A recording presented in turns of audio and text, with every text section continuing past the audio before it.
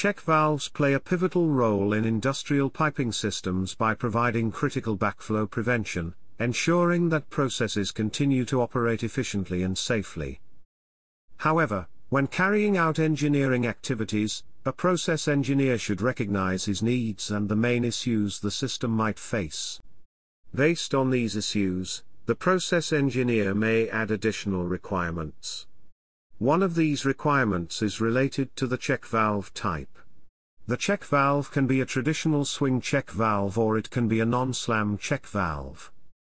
Understanding the operational differences between these valves is key to optimizing system performance and reducing operational and maintenance issues. So let's start with swing check valves. Swing check valves are commonly used due to their simple design and effectiveness in many applications.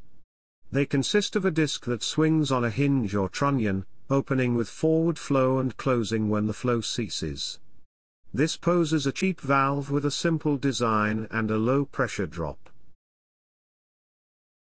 However, the swing check valve's mechanical design is prone to creating significant operational issues.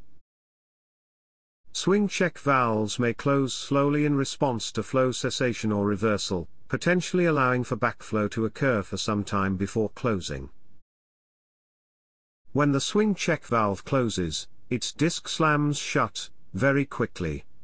This can create a shock wave when a high velocity or a high pressure fluid suddenly stops. This is a phenomenon called water hammer.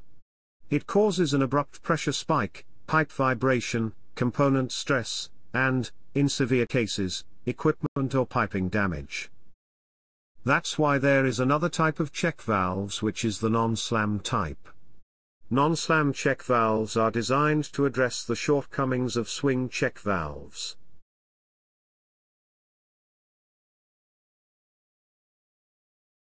These valves incorporate a spring mechanism that ensures a quick response to flow changes, preventing backflow, and the associated water hammer.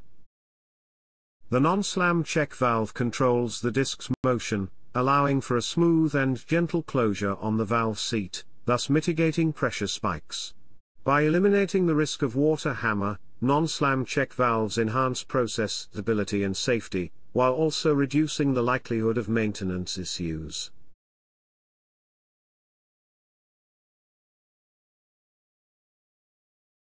As we have seen, there are some limitations of swing check valves. However, they are still much more frequently used. This is because they are much cheaper and give lower pressure drop. That's why they are commonly used in most applications which are characterized by the following. In systems where the potential for water hammer is low due to moderate flow rates and pressures, swing check valves can be a cost-effective solution. For processes where the risk of backflow is not expected to cause significant damage or disruption swing check valves can be a practical choice.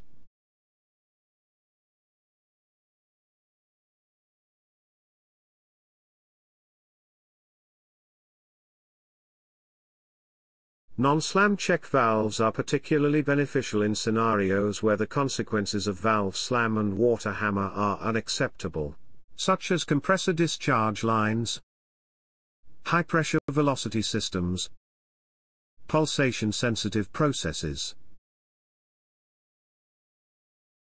In a compressor, reverse flow to the compressor cannot be tolerated as this can lead to compressor damage. For example in settle-out condition, the valves at the suction and discharge are closed while anti-surge line is recycling the gas back to the suction system. Here we need to ensure that no gas shall short-circuit its path by flowing to the compressor in the reverse direction. That's why we shall need a check valve with a rapid response to protect against reverse flow, which is commonly a non-slam valve.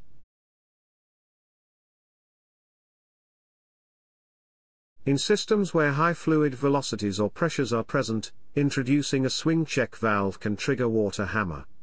That's why non-slam check valves are used to minimize the risk of water hammer and its associated component damage.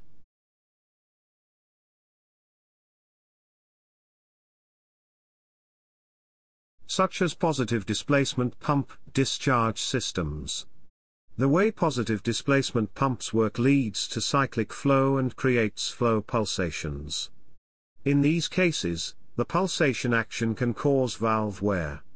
In addition, the slam action of a swing valve may be susceptible to occur frequently, which can trigger the water hammer. That's why it's common in this case to use a non-slam check valve. The choice between swing and non-slam check valves sh should be made after carefully considering the system's operational parameters, potential risks, and the critical nature of the process. While swing check valves may be appropriate for less demanding applications, the advanced design and superior performance of non-slam check valves make them indispensable for high-risk systems. By selecting the right valve type, a process engineer can ensure the prevention of significant process disruptions, ensure safety, and protect against costly downtime and repairs, ultimately achieving a better return on an investment.